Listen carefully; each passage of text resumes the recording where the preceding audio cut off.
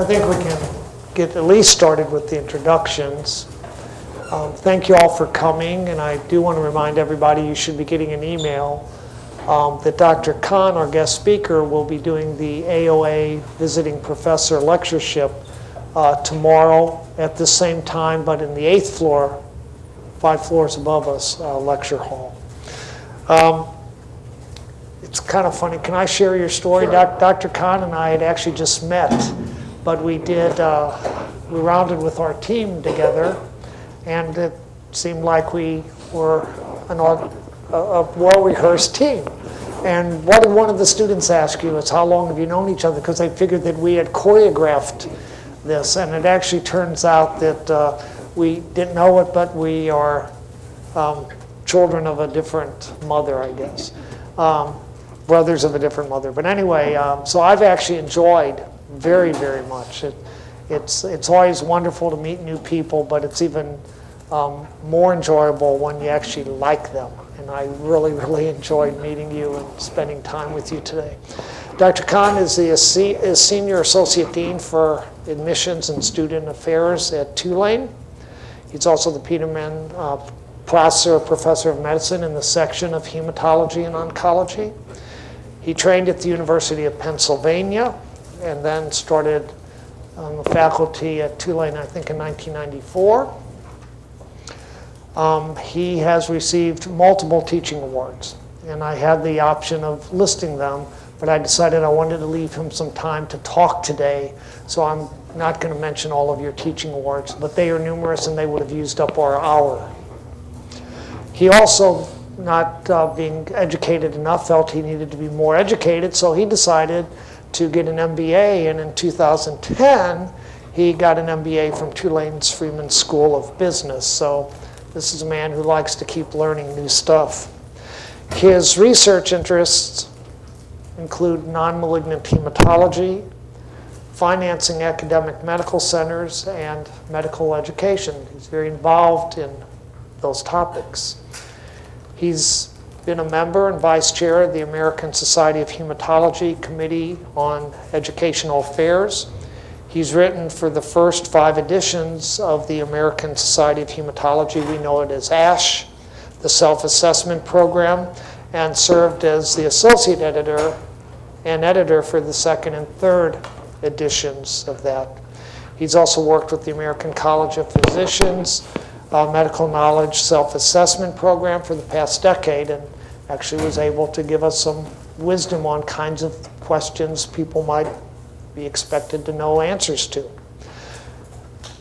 In addition to his involvement with the American Society of Hematology, he's also held, held national leadership positions with the Association of American Medical Colleges and serves on the uh, board of directors of the National Residency Match Program.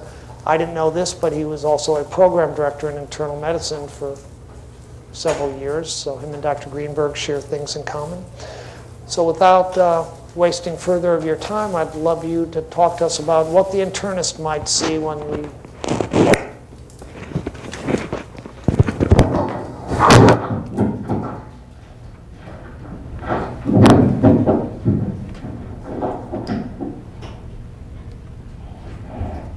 Thank you very much, um, Dr. Marion, and thank you um, uh, for inviting me today. Thanks to, to Jane uh, and Mark Platt for inviting me for the AOA talk. And what I thought I would do today is talk about something that um, uh, we see as hematologists, we see as internists, and, um, but I wanted to be specific about the hemolytic anemias that you, uh, in fact, may see in your practice. And I'm going to focus mostly today on sickle cell anemia, the autoimmune hemolytic anemias, and we're going to finish up with a, just a little bit um, about uh, G6PD uh, deficiency.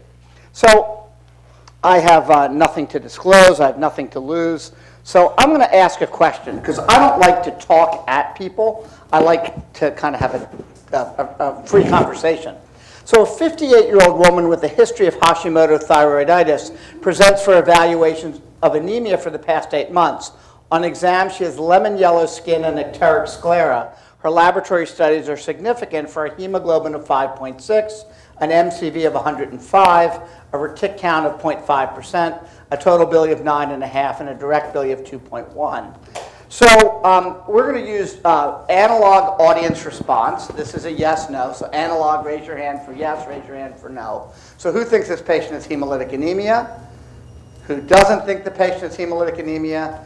Who is sleeping and not participating? Anyway, we're going to go ahead. So, you know, whenever um, I asked the students this this morning, but we have a patient with anemia, so the first thing we're going to do is, well, the first thing we're going to do is peripheral smear. Good. All right. So peripheral smear, this doesn't project real well, but um, what you see is um, is that you see a poly in this field with one, two, three, four, six lobes, and we all know that about 20 percent maybe of our polys can have up to five lobes, but we should never have six lobe polys. So when you learn more about this case, this is a case of cobalamin deficiency. So the question is, is this hemolytic anemia? Well, as I'm about to show you, in fact, the first historical description of hemolysis was in patients who were cobalamin deficient. Why? Well, because cobalamin is a necessary vitamin for the synthesis uh, and maintenance of um, hemoglobin and red blood cells. And when you don't have cobalamin, your, your, your erythropoiesis is ineffective and you actually destroy red cells. It occurs in the marrow, but this was first described by Paul Ehrlich as a type of anemia that was hemolytic rather than hemogenic. And that was really the first term. So this patient, in fact, has cobalamin deficiency. I, I think I said Paul Ehrlich. It was actually Hunter. And the retic count um, here is low, whereas in with, whereas with a hemolytic process that we're more accustomed to, the marrow would respond with an increased number of reticulocytes. We may see nucleated red blood cells, etc. But this is a marrow that's deficient, so this is ineffective hematopoiesis. And in fact, an elevated LDH, an elevated bilirubin are not uncommon. And for the older people in this room with gray hair, we remember lemon yellow as being one of those descriptions of cobalamin deficiency. Why? Because you're yellow from the ineffective hematopoiesis and elevated bilirubin, but you're pale. So that paleness plus yellow in fair-skinned patients gives you a, a lemon yellow appearance. Very different than the jaundice that we see in liver disease. So hemolysis, again, the first term was first used in 1901 by William Hunter in his treatise called Pernicious Anemia. And he talked about microspherocytes mark the anemia as due to excessive destruction of blood and not to be deficient in formation, that they denote the anemia to be hemolytic, not hemogenic in its origin. And that's where the term came from. And we often forget that patients who are cobalamin deficient can, in fact, present with pic a picture that looks like routine hemolysis, except for the fact that the retic count in these patients is notoriously low. Okay, so another question, does, does everyone recognize this? So this patient's hemolytic anemia, yes? Yes, no? Okay, so this is classic. This is what? It's called out. This is, yeah, so this is classic sickle cell anemia. Um, what you'll notice, and I'm an old-fashioned guy, I still do peripheral smears in my clinic. Uh, I believe that you know you can make lots of diagnoses very inexpensively that way. If you don't want to make them yourselves, the lab makes them. But what we see here is a characteristic nucleated red blood cell. That's got to be a nucleated red blood cell because it's red uh, and has a nucleus. Nucleated red blood cells are never normal in the peripheral smear. They mean the marrow is under some kind of stress, either through hypoxia or blood loss or hemolysis. The other thing we see are the classic um, drepanocytes or sickled cell shaped red cells. Um, and um, we see red cells that have this targeting in the middle, and these are target cells, which we see with hemoglobinopathies and patients who have had their spleens removed, and uh, we also see this with liver disease. So uh, th th this is common in sickle cell anemia. You folks here uh, see sickle cell patients? They have a reasonably large population, actually. We have about 500 families or so in New Orleans, and you guys are probably close to that. Um, the sickle cell patients are seen by adult and peds, is that right? Here, they're seen by both. And do you actually have a center, or are they mostly seen by the internist or the hematologist? Who sees them here? Mostly the hematologist? Okay. All right, good. All right, so I have a 27-year-old man with sickle cell anemia who requires hip replacement due to avascular necrosis. His baseline hemoglobin is 5 to 6. His current hemoglobin is 6.1. And the question is, how should he be managed uh, preoperatively? So this is more complicated um, uh, analog audience response. So A is no transfusion, B is simple transfusion to a hemoglobin of 10, C, simple he- transfusion to hemoglobin of 12, D is exchange transfusion to a hemoglobin of 10, E is exchange transfusion to a hemoglobin of 12, keeping the hemoglobin less, less than 30. Let's, let's all vote on this one. So who says A? Who says B? Who says C? Who says D? Who says E? Good, then we're all going to learn something today. All right.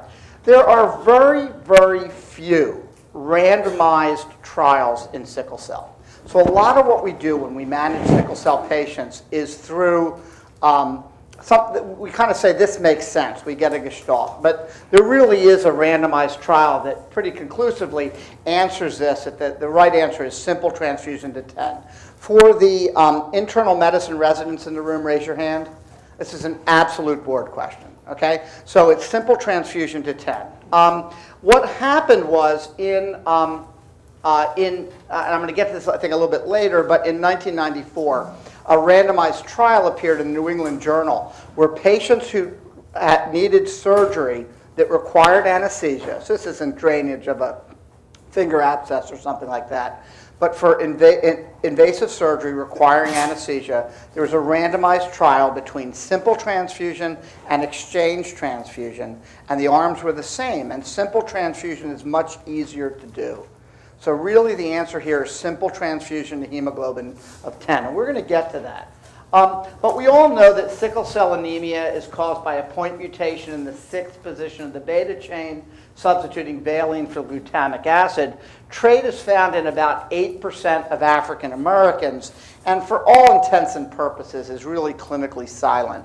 We're going to talk about that a little bit more in a little in a bit.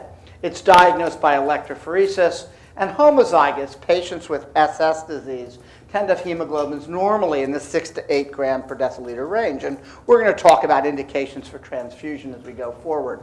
The clinical features, what you all know about, what brings these patients to the uh, emergency room are vaso-occlusive crises, these painful crises.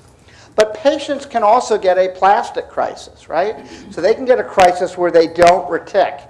And somebody can call out, what's the primary cause of a aplastic crisis? Parvo B19, exactly. And you can also see a form of aplastic crisis in these patients if they stop taking their folic acid, because their folic acid requirements are reasonably robust and reasonably large. Um, children and those who still have their spleen, because most patients with SS disease auto-infarct their spleen um, early in life, maybe by age six or so, but children can get a sequestration crisis where red cells are sequestered in the spleen, and patients with SC disease can get a sequestration crisis.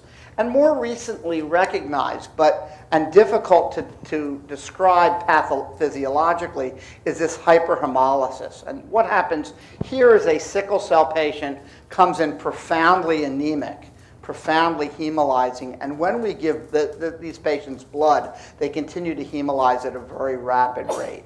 And exactly why that happens is not clear, and it remains relatively difficult to treat, quite frankly. Few clinical trials, if any in the literature, case reports, use of IVIG, use of erythropoietin. I, that doesn't make a lot of sense, but there are some studies looking at that, and difficult to treat, but certainly well recognized among people who take care of this population of patients. So organ system involvement. So um, sickle cell disease, again, is a disease that transcends childhood, adolescence, and adulthood. But early on, you have problems with growth and development due to uh, bony infarction and other problems. We know about medullary necrosis of the kidney and priapism, another thing that frequently brings these patients to the emergency room. They can get cholestasis and they can form pigmented gallstones due to the complexing of bilirubinate with calcium. They get high output heart failure and pulmonary hypertension. We're going to talk about that a little later. And in the eyes, they get retinal vessel occlusion and neovascularization. So really, although this is a point mutation in um, hemoglobin, we all now recognize that sickle cell anemia is a systemic disease. Okay.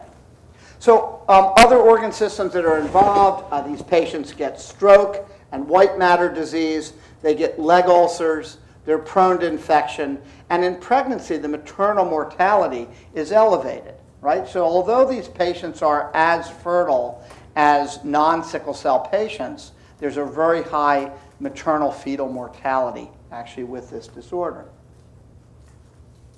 I have a case. A 45-year-old man with hemoglobin SS presents with peripheral edema and shortness of breath. He has had multiple episodes of acute chest syndrome, on exam, he has crackles and a split S2 with a prominent pulmonic component. So what's his diagnosis? Pulmonary hypertension. So a relatively more recently recognized problem that carries a non-insignificant, in fact, a very significant morbidity and mortality. We're going to talk about why sickle cell patients might develop um, pulmonary hypertension. So it's recognized again, New England Journal um, now some 12 years ago was the initial large description. Um, recognizes a major source of morbidity and mortality, occurs in over 30% of patients, and has a relative rate of death of, of, of greater than 10. It seems to be resistant to hydroxyurea, and as of yet, we really don't have effective treatment for this disorder. There are people who have tried uh, endothelin um, antagonists like bosentan and others, and they may work. And I have a slide, I think, to talk a little bit about um, sildenafil. But the reason that these patients get pulmonary hypertension is multifactorial and really predominantly related to nitric oxide and its effects. So these patients really have two problems who, the medical students are closer to this. So nitric oxide comes from what biochemical reaction? It's the arginase reaction, right? So arginine is converted to uh, citric acid at, with, with the release of nitric oxide, right? So one of the problems is, is that red cells contain arginase, and when red cells are destroyed, you break down the substrate for nitric oxide production. The other problem is the tail end of free hemoglobin sequesters and binds nitric oxide.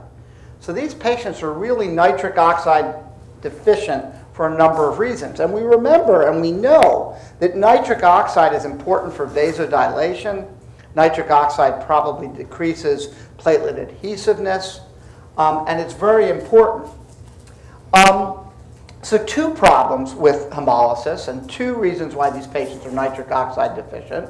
And yes, there have been trials of nitric oxide in these patients. They've been equivocal at best, they've been small. There have also been trials of potential nitric oxide donor molecules to see if that improves some of the symptoms of, of um, uh, pulmonary hypertension, some of the other symptoms in this disorder, and it's unclear. Sildenafil, if you remember, is a phosphodiesterase inhibitor that um, essentially um, prolongs the half-life of nitric oxide. And sildenafil's been studied in pulmonary hypertension and in sickle cell patients. But the WALK FAST trial in 2009 was halted prematurely because it looks like sildenafil increased painful crisis in patients with sickle cell anemia.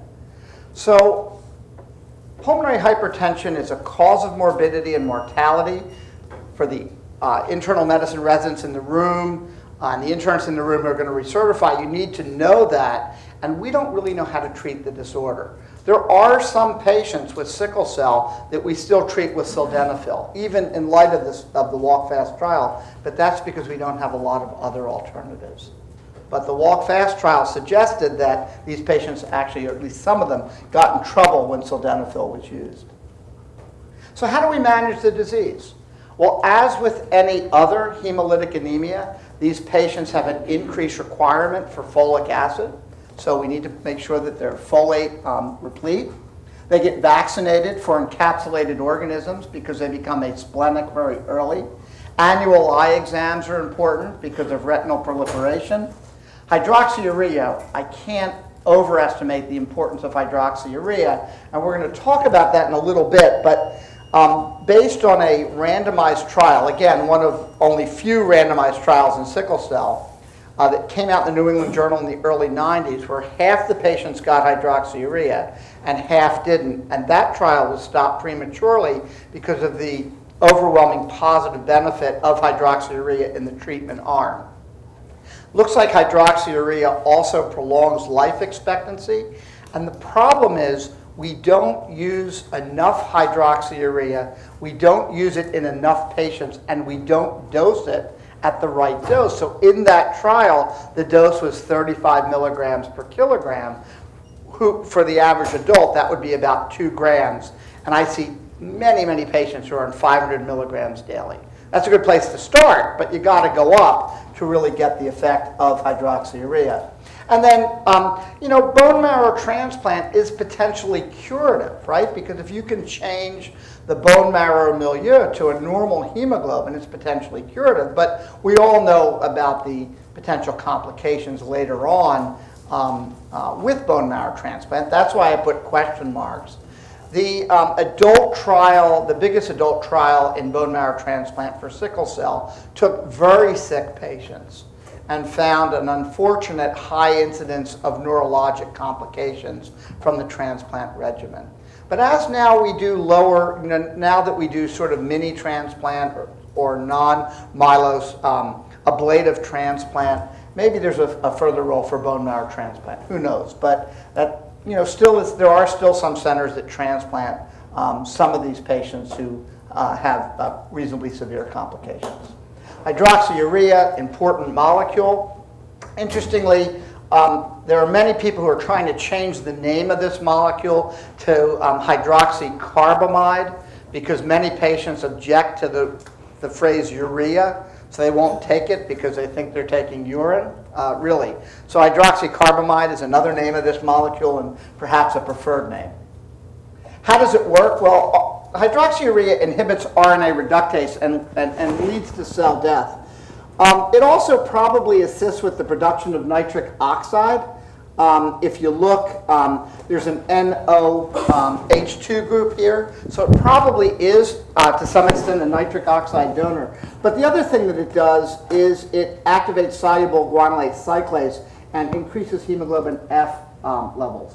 And we've known for many years that we see sometimes patients with sickle cell anemia who seem relatively unaffected, and maybe they're 50, 60 years old, and many of those patients have hereditary persistence of fetal hemoglobin, where they have high fetal hemoglobin levels. So we've known for a long time that fetal hemoglobin is protective in sickle cell patients, and hydro um, hydroxycarbamide actually does increase hemoglobin F levels. A randomized, this is a classic article from the early 90s, 1995, a randomized controlled trial showing marked improvement in outcomes among patients with greater than three crises per year. Uh, hydroxyurea may also help to prevent stroke. We're going to talk about stroke in a little bit. A recent article in Blood over the past couple weeks suggested uh, that at least in children, hydroxyurea after a period of transfusions uh, appeared to be beneficial in preventing further stroke. And again, I, I, put May based on this JAMA article that's now 13 years old. Newer articles suggest that, that hydroxyurea, hydroxycarbamide, does improve survival in sickle cell patients. So a take-home important message is if you have a sickle cell patient, with crises, they ought to be on hydroxyurea. And they ought to be on a dose high enough uh, that they're getting an effect on their hemoglobin F. Uh, really important. One of the contraindications, obviously, is a woman in childbearing age who's not using a form of contraceptive, contraception or somebody who wants to get pregnant. But otherwise, this is a really important underused drug in this population of patients. One of the things that comes up clinically on the wards and on board exams and in training exams are who, do we, who and when and how do we transfuse these patients? Again, they run a pretty consistent anemia of five to six, and when do we transfuse, how do we transfuse, etc. So let's talk about some different types of transfusion. Your basic transfusion is a simple transfusion. That is, the patient's, like the patient we talked about in morning report this morning, the patient's anemic and symptomatic, and we give blood. That's a simple transfusion. Hypertransfusion is we give regularly scheduled transfusions, typically monthly. An exchange transfusion is when we bring in the pheresis machine, we remove uh, red cells containing hemoglobin S, we give red cells that don't con contain hemoglobin S, we target a final hemoglobin concentration, and we target a final percent hemoglobin S, typically less than 30%. So a much more expensive and a much more resource, resource intensive procedure. But there are indications. So simple transfusion um, is indicated when you need to increase the oxygen carrying capacity in the patient. So the patient uh, runs a hemoglobin of 5, they come in, they're 3, and they're symptomatic. Hypertransfusion we use for stroke prevention. And we've known, again, based on a randomized trial, not many of them in sickle cell, probably going to go through most of them in this talk, we know that if a sickle cell patient has a stroke, he or she has a 70% chance of having another stroke. And we know that we can decrease that by 50% if we give them blood on a monthly basis. Now, the problem, we're going to get into that, is that they also get iron overloaded, right? And giving blood once a month is cumbersome. And, um, you know, uh, and hydroxyurea may have a role as well, but that's hypertransfusion. And then exchange, the indications are acute stroke, retinal artery occlusion, and um, maybe, um, uh, maybe in priapism. And most of these are not based on randomized controlled data. Most of this is expert opinion. Okay? We're going to talk about sickle cell chest, and many patients with sickle chest get exchange transfused, but there aren't good randomized trials. These are inappropriate indications for transfusion. For those of you taking boards and recertification, this is really important because this is what they try to trick you on. So chronic anemia, these patients are always anemic. That's not a reason for, for blood. Uncomplicated pain crises, not an indication for blood. Infections, minor surgery, not needing general anesthesia. Again, we talked in the beginning, if you need general anesthesia, you need a simple transfusion up to a hemoglobin of 10 aseptic necrosis and uncomplicated pregnancies are inappropriate uh, reasons uh, for blood. And we have to be careful with blood in these patients because what I see are the overtransfused sickle cell patients who run into end organ problems with significant iron overload. And that's what we see. So I tell my sickle cell patients they can't get blood unless a hematologist, myself or one of their colleagues, says it's necessary. Because at my institution, the staff want to always transfuse these patients, and it just leads to all kinds of complications. And usually it's because there's a lore out there that if you give them blood, their pain crisis gets better and you can discharge them from the hospital. Or if you give them blood and they still have pain, they're malingering. And neither of those statements are true. So be careful with blood in these folks. Pain management, we don't use much Demerol anymore, but just we don't even give it. It's all formulary because it's metabolized to um, uh, which significantly lowers the seizure threshold. Morphine's the preferred drug. Again, like other pain management, Dr. Marion's talked about this. We want to give long-acting meds for a period of time, and we also want them to have some medicine for breakthrough. Uh, PCA can be very important um, in this population of patients. Um, acute chest syndrome. So acute chest syndrome um, really is um, defined as the appearance of any of an infiltrate, chest, uh, chest uh, infiltrate, chest pain, or uh, hypoxia in a patient with a sickling disorder. And it's more common with SS disease, but it occurs also with sickle beta and it occurs with SC disease. It can be caused by infection, in situ thrombosis, fat embolism, or any combination. So the diagnosis of acute chest does not take into account etiology. So I've heard people say this isn't acute chest, it's pneumonia. No, it's pneumonia causing acute chest. And the reason acute chest is important is because it's a major cause of death. And Orah Platt's uh, New England Journal article, when she looked at causes of death in sickle cell patients, acute chest was one of the major causes of uh, morbidity and mortality. We treat it with oxygen if they're hypoxic, antibiotics, and what's really important is patients with acute chest need blood. Now, do they need an exchange transfusion? Well, my practice is, is if they're in the ICU and sick and I can get an exchange, it's not in the middle of the night, I'll exchange them, but I can also give them some blood. We never want to have these folks with a hemoglobin higher than 10 because then they run into, into um, viscosity problems. But these people need blood. Why? Because part of the physiology of acute chest is circulating activated endothelial cells. And we need to dilute those because those cause um, stickiness of platelets and stickiness of red cells, and they lead to problems. Um, the incidence can be reduced um, by hydroxyurea, probably and postoperatively incentive spirometry. So again, a randomized trial in sickle cell. Post-op patients, incentive spirometry or not, and not surprisingly, a um, significant improvement in pulmonary complications postoperatively with incentive spirometry. Hard to argue with incentive spirometry, but certainly in sickle cell patients, I make sure that patients get incentive spirometry. Preoperative considerations, again, oxygen, hydration. We talked about keeping the hemoglobin at 10 if they need general anesthesia. Uh, patients with SC disease may need exchange transfusion um, because sometimes we want to get their hemoglobin S down and the need of it for incentive.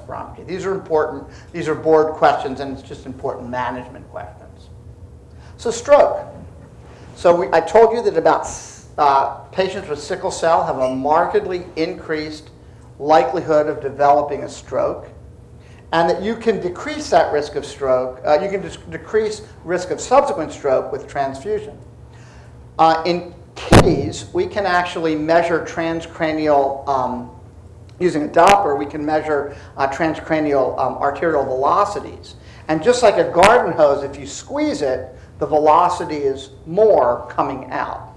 And so we can predict kids that are at risk for stroke. Um, several well-done randomized trials in kids, uh, the STOP trials, um, took kids with elevated transcranial Dopplers without stroke and exchanged them and found that you could actually prevent stroke in that population.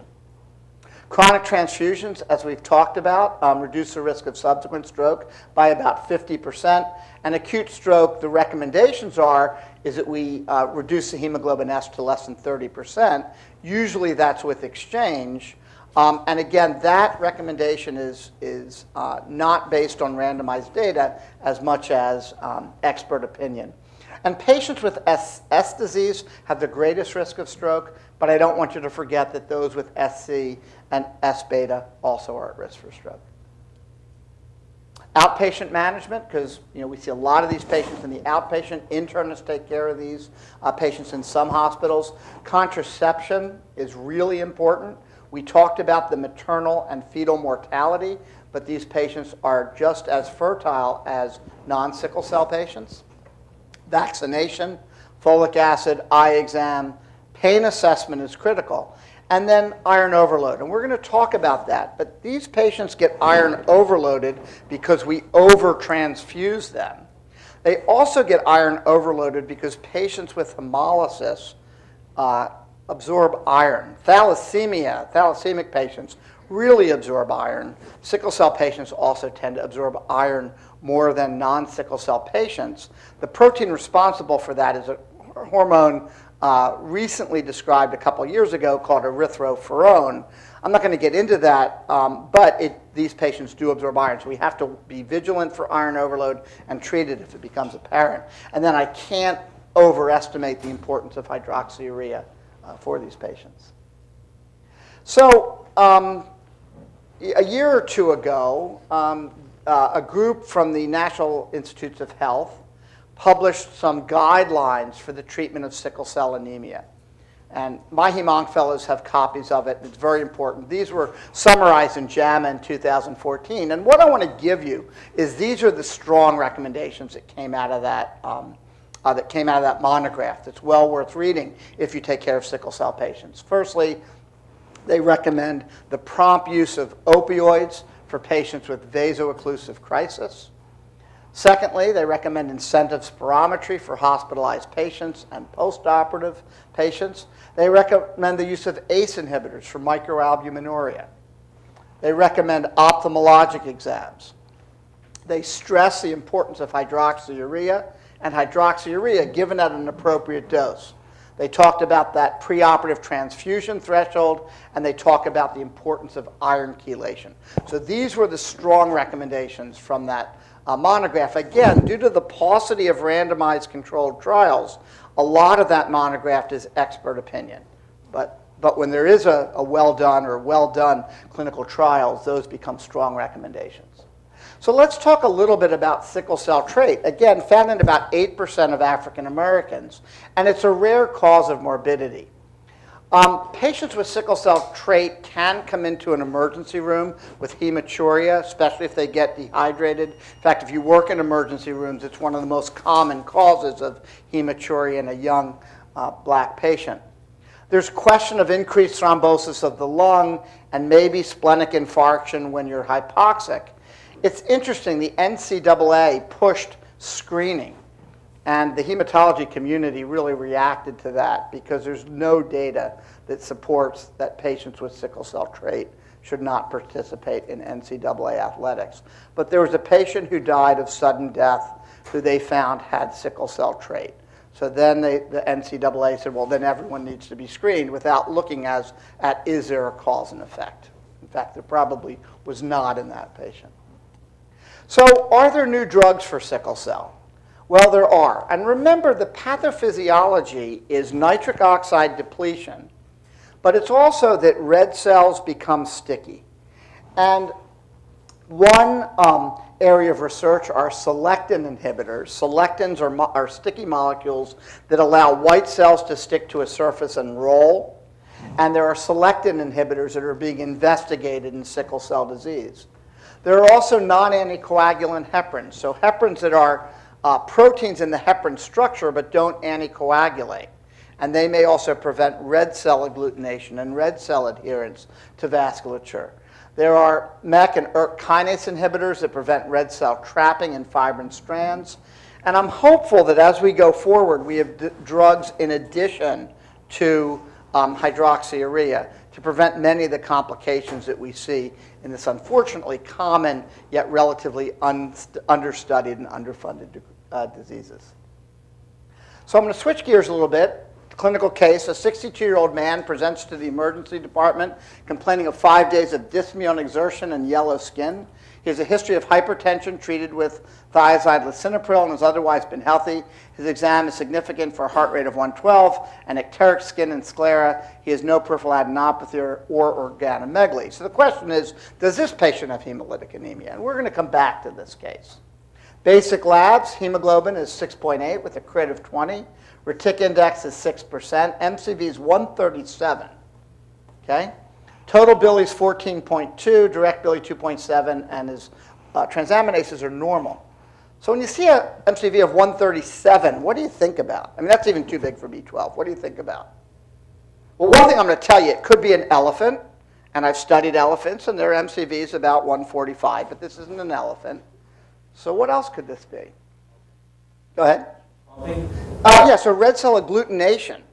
So red cells sticking together. And I want to keep that in mind as we go forward. So here's a peripheral smear um, of this patient. And when you look, you can see these agglutination of red cells. And what's happening is the Coulter counter is counting that sometimes as one red cell. So you can see how the MCV is as large as it is. And here's a high power view of the same thing. The question is, why might red cells like this agglutinate? And we're going to come back to that. So when we talk about hemolytic anemia, um, there's different ways to divide things. There are congenital problems, which are membrane defects, enzyme, like um, hereditary spherocytosis or hereditary elliptocytosis. There are enzyme defects like G6PD deficiency that we're going to talk about at the end. There are hemoglobin defects like sickle cell that we talked about, and there are thalassemias that are abnormalities in alpha and or beta chain production. And then there are acquired uh, drug-induced infections such as um, uh, clostridial infections, microangiopathic hemolytic anemia, PNH, and I'm going to focus uh, today's talk on autoimmune hemolytic anemia. So when we talk about autoimmune hemolytic anemia, we're talking about an immune response to red cells that causes destruction. And there are three types. There's paroxysmal cold hemoglobinuria, which I'm going to dispense with quickly because it's not something we see that often in, in adults and something that we less often even diagnose. And then we're going to talk about warm antibody hemolysis and cold agglutinin disease. So when we talk about this, there is some overlap. These are meant to be Venn diagrams where we have lymphoproliferative dis disorders like lymphoma that can be associated with warm or cold hemoglobinuria. We have some infections that tend to cause cold agglutinin disease, et cetera. And these temperature designations refer to what, at what temperature hemolysis occurs. So cold in this case just means colder than body temperature, colder than 37 degrees. Okay? Warm means it occurs at body temperature. So um, there are different mechanisms, and I'm going to go through these individually as we talk about the individual types. But when we talk about laboratory findings in autoimmune hemolytic anemia, we have varying degrees of anemia. The marrow typically responds normally with a reticulocytosis. We get increased um, unconjugated hyperbilirubin, increased LDH, uh, a low haptoglobin. I've never checked a haptoglobin ever, and we're going to talk about why I don't check haptoglobins. Um, and a DAT, which is the Coombs test, uh, tends to be positive. Um, for the DAT, it's either positive for IgG, which is warm, we're going to get to that. It's positive for complement, which is cold, or both tend to occur with um, warm antibody hemolytic anemia. So let's talk about what is a Coombs test. Well, there's a direct Coombs test where what we do is we have IgG-coated red cells from a patient. We add an anti-IgG, and if we get agglutination, it means there was IgG on the red cell. Similarly, we can add an anti-complement. Okay? An indirect, we take the patient plasma containing IgG and antibodies. We add normal red cells. Now they're coated, and now we add that antiglobulin. And interestingly, notice Coombs does not have an apostrophe S. That's because the guy who discovered this was named Coombs, not Coombe. Okay? So these are the Coombs tests, direct and indirect. There, some places we do a super Coombs test with uh, perceived increased sensitivity. I think we heard about one this morning um, in uh, Morning Report. And these are done in some test um, centers, and they tend to use radioactivity so you can detect micro, uh, um, very small amounts of either complement or immunoglobulin on the red cell surface. And haptoglobin, as we talk about, binds the globin portion of free hemoglobin. Uh, it's then cleared from the circulation, so the levels decrease with hemolysis. The sensitivity is relatively low. The positive predictive value isn't great. And the problem that is, is when you send a tube of blood to the lab, it contains some free hemoglobin. So when you look actually at haptoglobin levels in patients who have been transfused, the haptoglobin levels go all over the place because of the stored blood. And when you look at blood in a sample tube, the haptoglobin can be all over the place. So I find it that it's, I just find it not to be a very helpful test. I look at blood smears to, to help me make diagnoses and Coombs tests, et cetera. So look at the peripheral smear, and that's going to really tell you what you're looking at. So let's dispense with paroxysmal cold hemoglobinuria. Rarer disease. What happens here is you have cold reacting IgG directed against a red cell antigen called the P antigen. It binds in the cold but causes hemolysis um, uh, at body temperature. It's associated with secondary syphilis. Interestingly, Paul Ehrlich described this. This was the first description of an autoimmune disease. He called it horror toxicus. It's underdiagnosed and may actually be the most common uh, cause of autoimmune hemolytic anemia in children. But it's difficult to diagnose because it's this funny antibody. It tends to get better on its own. And what happens is um, in this disease is you get um, hemolysis through this membrane. So you get IgG that binds in the cold, and then at body temperature you get this uh, membrane attack complex that destroys a red cell. So relatively undiagnosed, tends to be self-limited. You can do a Donath-Landsteiner test where what happens is um, when you uh, chill the tube and warm it up, this is control, and you see red cells and plasma that's a little orange but relatively normal. And in patients who have a positive Donath-Landsteiner test, you get hemolysis just from chilling down the blood tube and then warming it up. Again, probably a common cause of hemolysis in kids, probably not as relevant in adults, and tends to be self-limited. uh, there is a case report or two of successful treatment with rituximab, a monoclonal antibody to CD20. But, you know, not as common a disease, and just want to dispense with that to be thorough. Rituximab, again, we talked about this also in rounds today, is a chimeric uh, antibody to CD20 um, and originally developed for the treatment of B-cell lymphomas, but now is used in a variety of autoimmune diseases because it decreases um, uh, B-cell production, and some of these B-cells make antibodies to things like red cells. Warm antibody hemolysis is probably the most common type of autoimmune hemolytic anemia that we diagnose. Um, it occurs when IgG binds to red cells the IgG tends to be relatively spread apart on the red cells, so there's limited complement fixation typically. But what happens is the IgG-coated red cells are cleared by splenic macrophages. So the splenic macrophages actually eat these cells and destroy them. So the hemolysis is occurring in the spleen. The Coombs is typically positive for IgG, but may also be positive for complement because sometimes the IgG molecules may react to an antigen that's more closely spaced so that you can get complement fixation. And you get partial phagocytosis. So what do you see on the smear in warm antibody hemolytic anemia? Really important. You see spherocytes, right? You don't see schistocytes. That's microangiopathic hemolytic anemia. And what's happening here is the warm antibodies you see in the upper left-hand corner, or upper right-hand corner as you look at it, the warm antibodies uh, bind the red cell and the splenic macrophage then engulfs the red cell and destroys it. My cartoon. Okay, typically these antibodies are directed against the Rh antigen, which is a transmembrane uh, protein. In the interest of time, I'll skip that. And what you see on the peripheral smear that is very important is you see these guys, and these guys, and these guys. And those are microspherocytes. And the only times you're going to see spherocytes are warm antibody hemolytic anemia and what else? Spherocytosis. So hematology is easy. It's always hereditary fill in the blank. It's also always right to say green leafy vegetables and Ashkenazi Jews. Heme boards are easy. You know those three things, you get your questions right. All right. These are spherocytes and they're round. And how do we treat this? Well, we can give glucocorticoids to block the antibody response. We can do splenectomy because that's where hemolysis occurs. And about two thirds of patients, when they undergo splenectomy, get better. What happens is a third don't respond, a third get completely better, and a third get good enough better. Okay, it's about a 70% response rate. There's cytotoxic therapy that's been described, and rituximab, again, has a reasonable response rate, but that response rate may be relatively short-lived. And intravenous immune, immune globulin what happens then is the splenic macrophage eats this immune globulin, not the immune globulin coating the red cells. So that can work as well. But probably the best long-term response is still splenectomy. Cold agglutinin disease, in this condition, again, occurring at colder than body temperature. Instead of IgG, you have IgM that binds to red cells. IgM fixes complement very well. So you get complement coating the red cells, and these cells are cleared in the liver. Your Coombs test in cold agglutinin disease is positive for C3. And what happens is this is this one of the antigens that's commonly recognized in cold agglutinin disease is the I antigen, which is a branched and, uh, um, antigen in adults.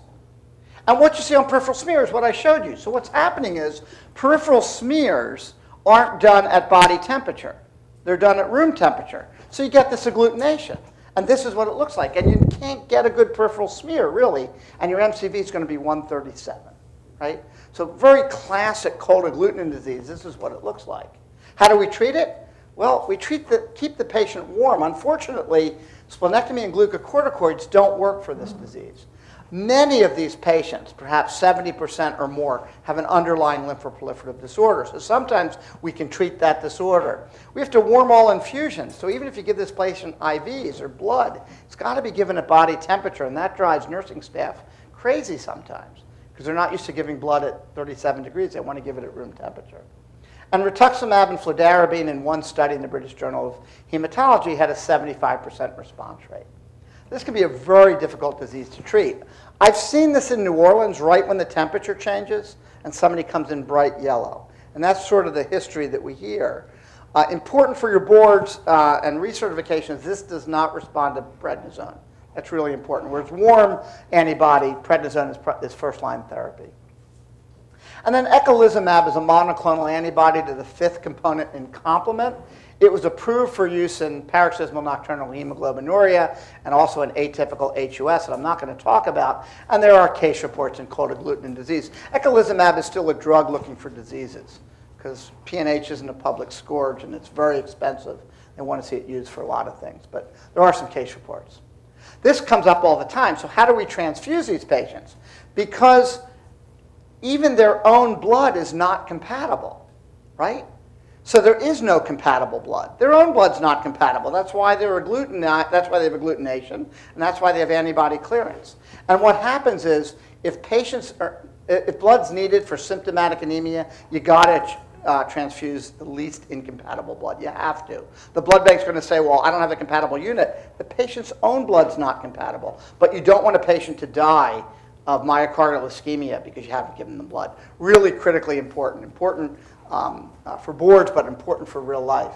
And this is a rather complicated chart that I'm not going to go through, but essentially what you do is you look for autoantibodies and you match for all the antigens that you can, and you give the least incompatible unit. And that's really what you have to do. You have to match for ABO, you try to match for RH, and you try to uh, get the patient stable so they don't have a, a myocardial infarction while you're waiting for compatible blood, which doesn't exist. Again, warranted in symptomatic patients. Uh, patients' own blood is incompatible. This requires a lot of cooperation with blood banks and close clinical supervision. And we have patients in this country that die every year because of this. One family actually gave money to the American Society of Hematology to educate practitioners about this because her young son died waiting blood because they couldn't find a compatible unit because there is no compatible unit. We avoid overtransfusions in all patients, and if patients are immunosuppressed or on fludarabine, you want to irradiate the blood to prevent uh, transfusion-associated uh, graft versus host. Um, and again, in patients with cold agglutinin disease, you need to use an inline uh, blood warmer. Some associated conditions, uh, I'm going to skip over that in the interest of time.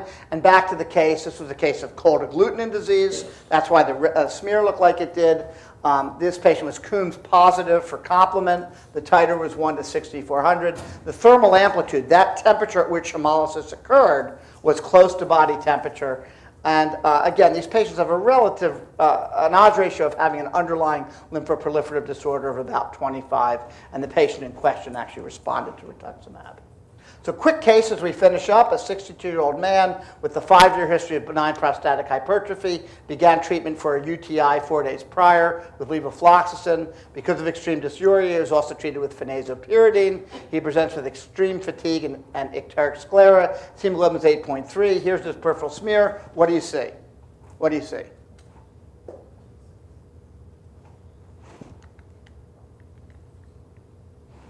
What is that cell there? That is called a blister cell or a bite cell, pretty much uh, consistent with the diagnosis of what? G6PD deficiency. And that's what I wanted to describe. This is an X-linked recessive disorder, so we seldom see it in women. They have to have two bad genes or incomplete lyonization. Um, G6PD-A uh, is found in about 10% of African Americans, and G6PD Mediterranean is the other type. And deficient persons are at risk for oxidative hemolysis. There's a bunch of drugs to avoid, but these are some of the drugs that we commonly see now. Uh, most notably, on this patient, uh, pyridium or phenazopyridine. And importantly, we don't check uh, levels after an acute hemolytic event because what happens is we, we uh, destroy the um, uh, older cells that are mostly deficient, and you're left with those more resistant younger cells. You can miss the diagnosis. Um, and the treatment is simple. We uh, avoid oxidative drugs and treat symptomatically. So here are some take-home points from today's talk. Remember, remember, remember how important hydroxyurea is for patients with sickle cell disease. We want to transfuse SS patients conservatively want to recognize pulmonary hypertension. We talked about the three types of hemolytic anemia, autoimmune hemolytic anemia, talked about the importance of reviewing a peripheral smear. We talked about the importance of transfusing the least incompatible blood unit in patients who require blood with autoimmune hemolytic anemia.